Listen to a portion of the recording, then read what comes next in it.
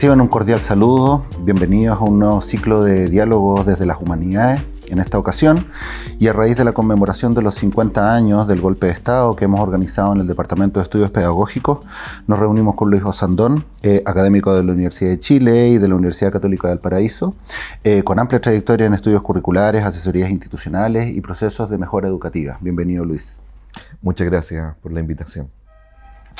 Un verdadero placer contar con tu presencia en nuestro departamento y me gustaría compartir a propósito de la charla que escuchamos hace algunos minutos atrás, eh, algunas preguntas en torno a esta conmemoración y el estado en el que nos encontramos. Eh, como historiador, profesor de historia, ¿no es cierto? Eh, entendemos que no hay una sola historia. En ese sentido, mi primera pregunta es, ¿qué historia se quiebra en Chile con el golpe militar? Uy, es una pregunta bien grande en verdad. Eh, primero aclarar que soy licenciado en historia, dudo si soy historiador propiamente tal o no.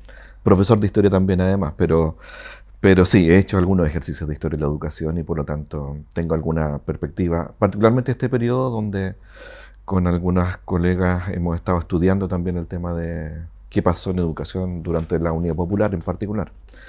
Eh, ahora, sobre la pregunta misma, ¿qué se quiebra? Eh, es un debate, por eso te digo, gigante, pero eh, uno podría decir que se quiebra una posibilidad de, mm, de reforma profunda, lo voy a poner en esos términos, de reforma profunda de la sociedad chilena de mediados del siglo XX, de la segunda mitad del siglo XX, eh, em, un orden social eh, claramente de origen colonial, una sociedad básicamente estamental que venía con una progresiva democratización de sus relaciones sociales durante el siglo XX ah, y que probablemente de haber perdurado un poco más eh, el gobierno leonino popular hubiese contribuido, no resuelto, contribuido a, esa reforma profunda de las relaciones sociales, yo creo, eh, en Chile.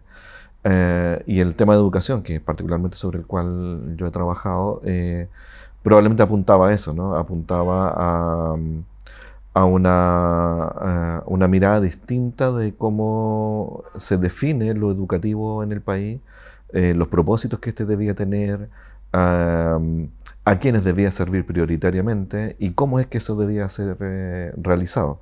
Yo creo que eso es lo que estaba en juego durante la Unidad Popular particularmente pero que tampoco, y eso lo aclaro de entrada, tampoco es algo que se inventa eh, durante la Unidad Popular o en el programa de gobierno de la Unidad Popular.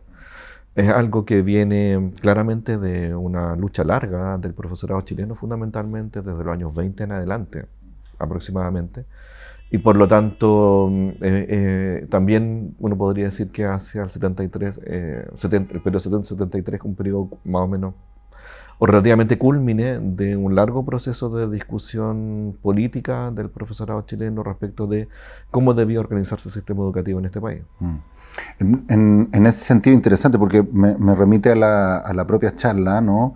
Eh, donde había un minuto donde tú explicabas más o menos en qué estaba eh, no sé si Latinoamérica, pero al menos la tradición chilena en pedagogía, y creo que es un punto relevante para exponer. Eh, ¿qué, había antes del golpe, tanto en la pedagogía latinoamericana como chilena? Mm.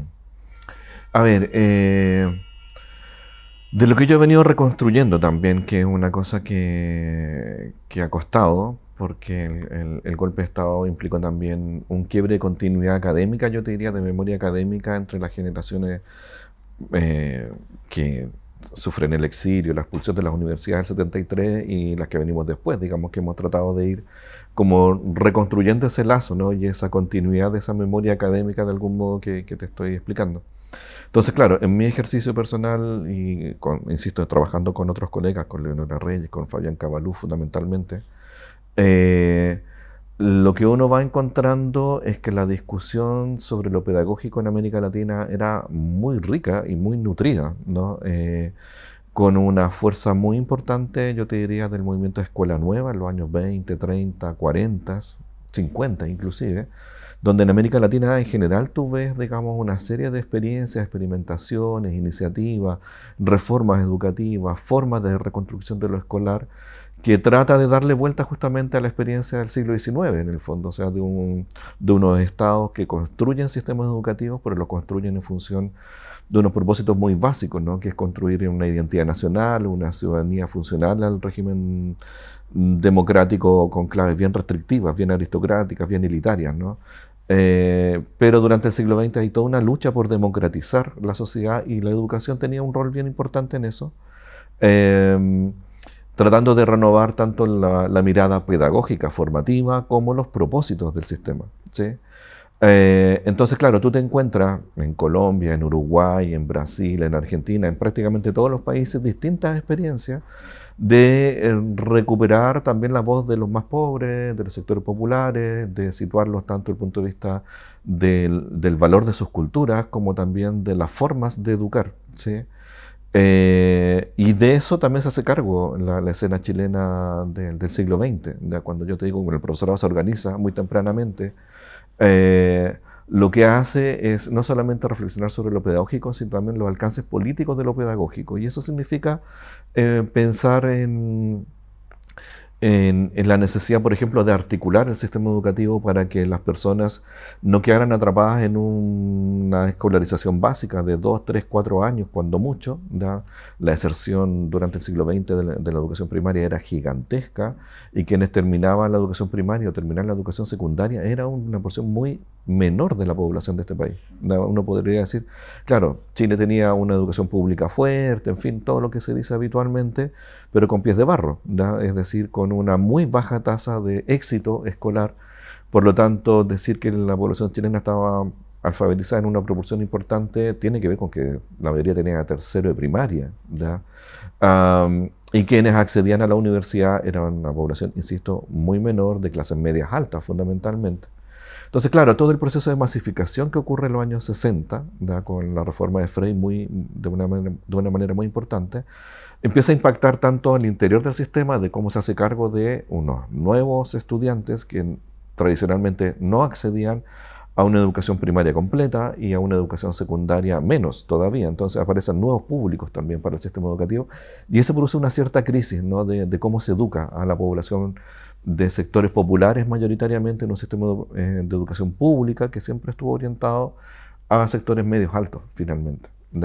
Es una discusión larga, pero lo que sí que creo que es importante recuperar es que eh, ideas eh, y formas de entender la democratización del sistema educativo chileno existían décadas atrás y se venían trabajando, se venían proponiendo, se escribieron libros, ensayos, se propusieron en los años 40, en los años 50, se hicieron iniciativas, el Plan San Carlos, la renovación nacional, la renovación de la educación secundaria a mediados de los años 40, o sea, todo el movimiento de escuelas experimentales, las escuelas consolidadas, en fin, hay una cantidad de experiencias muy nutridas que desde la perspectiva de hoy día se tienden como a olvidar, ¿no? a quedar en una cierta nebulosa pero en rigor, eso era lo que estaba en la escena de quienes eh, dirigieron las políticas educativas durante la Unión Popular. Eso es lo que estaba en la memoria inmediata. ¿sí? Y claro, llega el golpe y, rompe con todo eso. Ya rompe con las escuelas consolidadas, rompe con las escuelas normales, se expulsan profesores, se terminan líneas de investigación, no hay continuidad, no hay discípulos ¿no? que hagan esa continuidad. Eh, y quedamos bien desprovistos durante la dictadura militar finalmente de... Eh, de esa forma de entender todo lo que habíamos hecho como sociedad. Eh, y por lo tanto eso facilita también lo que viene posteriormente, ¿no? que es la instalación de estas políticas neoliberales en educación, eh, porque termina, parten casi desde cero, ¿no? desde ninguna posibilidad de contestar y eh, con un terreno arrasado que hace más fácil finalmente incorporar ideas de fundamentalmente de logro individual, ¿no? de cada uno vela por su propio éxito y por lo tanto el sistema educativo también se amolda de esa forma. Entre otras cosas, como se dice en la literatura y todos más o menos sabemos que el desmantelamiento del Estado docente, la municipalización de la educación, pero yo te diría fundamentalmente, ya en los años 80 para adelante, de la aparición de la idea de una educación privada subvencionada por el Estado, que son los colegios particulares subvencionados. Ese es un hito súper relevante porque en el fondo y esto sí también lo he estudiado eh, eh, con fuentes de la época, en fin, eh, y he escrito un par de cositas sobre aquello, la idea del mercado educativo, ¿no? o sea, de transformar un servicio público en un mercado educacional. Por lo tanto, cambia la lógica de provisión de un servicio público a la idea de eh, la disponibilidad de una oferta educativa, que son lógicas absolutamente distintas. Mm, mm. Sí, en ese, en ese sentido me, aparece la duda respecto de, este quiebre tan drástico, esta posición tan radical sobre lo que venía ocurriendo en la historia pedagógica. Y, te pregunto, eh, ¿se olvida? ¿Se elimina? Se pierde parte de ese material, parte de esa construcción, porque evidentemente, como tú lo dices, habían proyectos, habían propuestas de, eh, estos liceos experimentales, ¿no es cierto? Hay una, hay una serie de, espacios, hitos e instancias, pero yo me pregunto, ¿se, simplemente no se siguió hablando de ello y pasó al olvido, pero está por ahí guardado, hay algunos vestigios que uno pueda remitirse a la historia y rescatarlo, o simplemente se eliminaron, como, como muchas personas, digámoslo, eh, o simplemente no, no, no, se disipó algo y otro poco quedó. ¿Qué pasó con ello? Eh, yo creo una mezcla de todo lo que estás diciendo. O sea, esta misma universidad eh, tiene la pérdida del instituto pedagógico, hay una pérdida de cultura material concreta de la biblioteca de, de, humanidades, digamos, y todo el fondo pedagógico que quedan cosas acá también pero quedan otros vestigios en, el, eh, la actual metropolitana, ¿no? la Universidad Metropolitana de Ciencias de la Educación. Entonces, claro, hay, por un lado hay eso, ¿da? pero también hay mm, esto que decíamos, expulsión de profesores, exilio, en fin, desaparición de algunos profesores también, profesoras, en fin. Eh, por lo tanto, eh, desde el punto de vista como de, esa memoria académica, de esa tradición intelectual, digamos, que se venía cultivando en torno a lo pedagógico y lo educativo en Chile, claramente hay un quiebre. Hay un quiebre y hay una dificultad para reconstruir eso. Yo soy de una generación que empezó en la vida académica a mediados de los 90 y me ha llevado toda una vida, digamos, como reconstruir esto que te estoy diciendo, digamos, con cierta fluidez, ¿sí? porque de quienes fuimos discípulos, en, en mi caso, ¿da? Tenían algo de esto y algo nos transmitieron, que eran jóvenes de fines de los 60, comienzos de los 70, algunos terminaron exiliados, conocieron a Pablo Freire, en fin. Seguro. Todo aquello, pero, pero, no, pero ellos también estuvieron fuera del sistema educativo y se estaban reinsertando en los 90 recién, del sistema universitario en particular, en las facultades de educación, en fin. Por lo tanto, ahí, claro, ahí faltó una conversa y una transferencia y una continuidad. ¿da? Ahora, eh, yo creo que lo que ha pasado en los últimos años, eh, y yo creo que estos hitos, los 40 años del golpe, los 50 años después del golpe eh, de Estado, han estimulado la producción académica en torno a estos fenómenos. Hay mucha gente trabajando sobre esto. Yo hace unos días atrás estuve en el lanzamiento de unos libros, digamos, de, em, de nuevas historias de la, de la educación durante la Unidad Popular. Y, claro, hay un ejercicio cada vez más intenso y denso de reconstrucción de todos esos procesos. Y, yo también he estado un poquito involucrado en eso, haciendo ese ejercicio más atrás, ¿no? O sea, durante el siglo XX, ¿qué es lo que viene pasando? Todo el movimiento de, experimentalidad pedagógica y cosas por el estilo nos van dando cuenta de que están los materiales, cosas de reconstruirlas. Tenemos menos gente con las cuales conversar para, para hacer eso. Esas generaciones también fueron eh, terminando sus vidas, ¿no? En los años 80, 90, 2000. la Leonora Reyes, por ejemplo, ha hecho un trabajo bien interesante ahí de entrevistas a muchos de estos protagonistas de esa época. Ah, pero falta harto por hacer todavía, porque eh, creo también es importante como resaltar que a fines de los 60, comienzos de los 70, esa generación de los años 20 estaba en su ciclo terminal también, ¿no? O sea, eran profesores mayores, en fin. Ah, y claro, sobrevivieron varios años de la dictadura, pero, pero también eh, eh, uno se da cuenta, digamos, que dejaron de estar en la cresta de la ola, ¿no? Por efectos políticos y por efectos propios de lo que es eh, el protagonismo en, esta, en estos temas, tanto gremiales como académicos, políticos, en fin.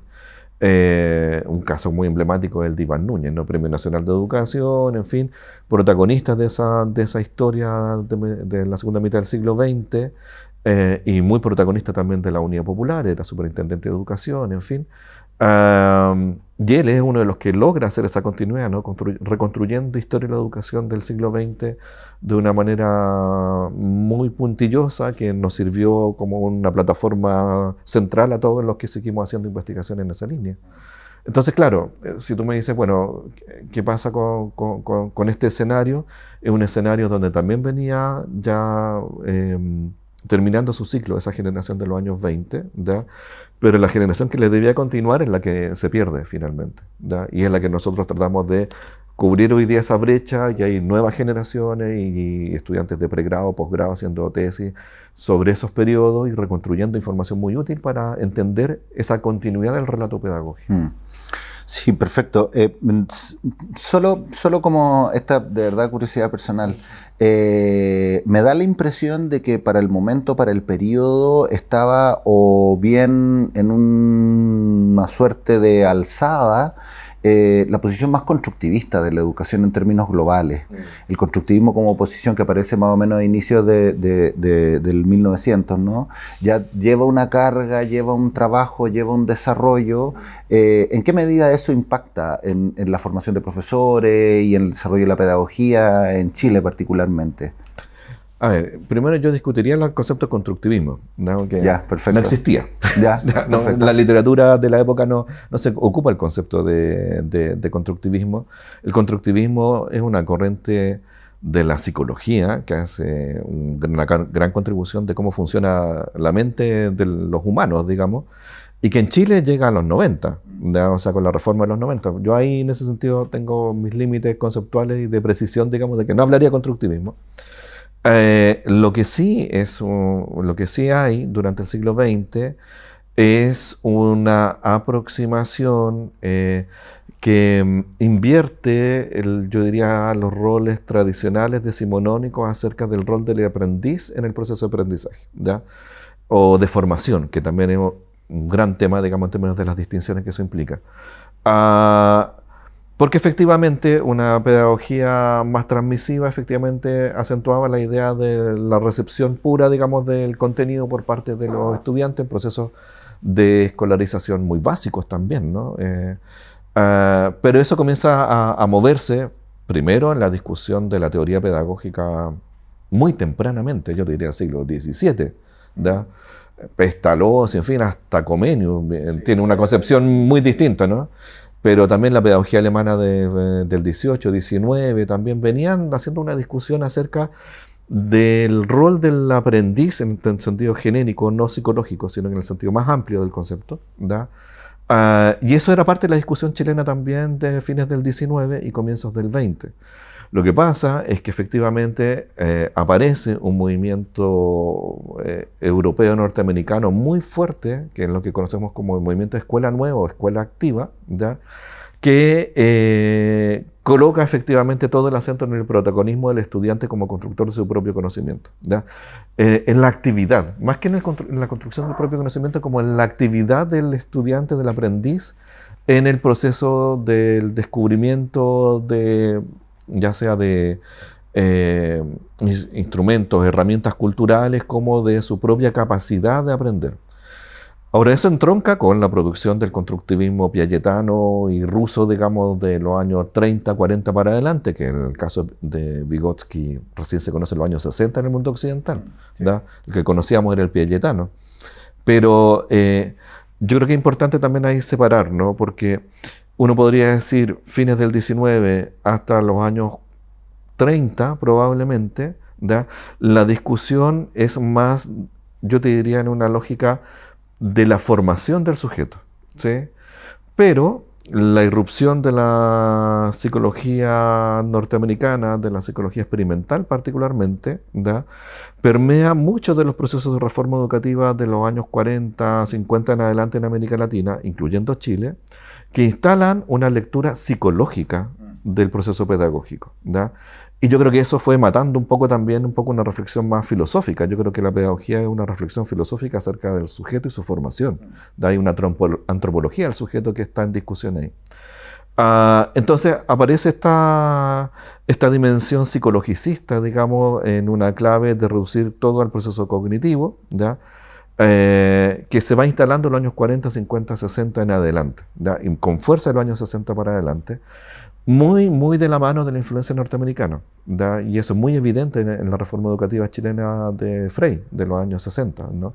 donde llega además el currículum tayleriano, el aprendizaje por objetivo, la taxonomía de Bloom, en fin, que se instala y que permanece finalmente hasta los 90 y más y hasta acá, yo te diría, digamos, no ha salido la tradición pedagógica esa mirada. Entonces, se produce toda una discusión entre una suerte de academicismo psicologicista de la pedagogía desde los años 60 para adelante, fines de los 60 para adelante, versus esta tradición pedagógica que es la que sostenían los normalistas muy fuertemente, pero también en el Instituto Pedagógico, ojo con eso, Ah, pero como las escuelas normales se cierran después de instalar la dictadura, el 74 terminan siendo cerradas todas las escuelas normales, uh, se pierde esa conversación, se pierde esa discusión y ese debate ha costado mucho reinstalarlo. ¿no? Por eso algunas personas hablan de ciencias de la educación ¿no? como modelo. Y es un modelo que tiende a disipar y a disolver, digamos, el protagonismo del, de lo pedagógico y a decir, bueno, cualquier ciencia social o cualquier otra ciencia, incluso eh, biológicas, matemáticas, en fin, pueden meterse a estudiar el fenómeno educativo y por lo tanto recomendar muchas cosas, ¿no? Pero el corazón de la reflexión pedagógica, que es un poco lo que también este departamento, entendería yo que, que el Departamento de Estudios Pedagógicos trata de defender, es que hay algo ahí dentro que es muy propio de, la tradición pedagógica que en el centro tiene, yo diría, a, la antropología, a la filosofía, a la epistemología. Es decir, reflexionar sobre los procesos de formación del sujeto es más que una reflexión sobre qué debe aprender o cómo puede aprender un sujeto algo.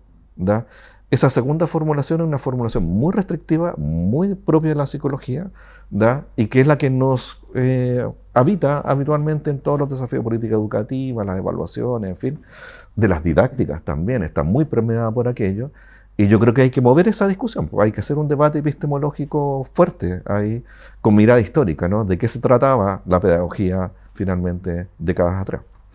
En esa misma línea, y, casi te, complemento esa reflexión final, ¿qué rescatamos de, lo que ocurrió? ¿Qué rescatamos de ese pasado que, está tan presente, digamos, no? ¿Qué rescatamos? Yo te diría un modo de, de pensar la docencia, un modo de pensar la relación del docente con los aprendices y con la comunidad. ¿Ya? Yo creo que ahí hay cuestiones muy bonitas que uno cuando empieza a, como a mirarlas y a entenderlas, uno dice, bueno, estos profes en realidad la llevaban, digamos. Eh, yo comencé mi, mi, carrera académica, mi, mi, tesis licenciatura en historia tenía que ver con profesores primarios eh, entre los años 30 y 70, lo hice con historias de vida. Y ahí es muy evidente el nivel de protagonismo y agencialidad que tiene el profesor con la comunidad. Y cómo éste iba resolviendo los problemas de la práctica eh, en una relación muy estrecha con los recursos que él tenía como profesional de la educación, digámoslo así, pero también con, eh, la actoría social, ¿no? O sea, movilizando a los apoderados, a las comunidades, levantando bibliotecas, eh, enrostrándole a los hacendados de turno, digamos, la posibilidad de que asistan los chiquillos a clase, en fin. Eh, entonces, claro, uno ve que la identidad profesional de la primera mitad del siglo XX en Chile y en América Latina en general estaba fuertemente eh, asociada a la idea de un protagonismo sociocultural en sus comunidades. Eran sujetos respetados, eran sujetos consultados, eran sujetos influyentes en la toma de decisiones locales, en función justamente del rol que tenían en la escuela.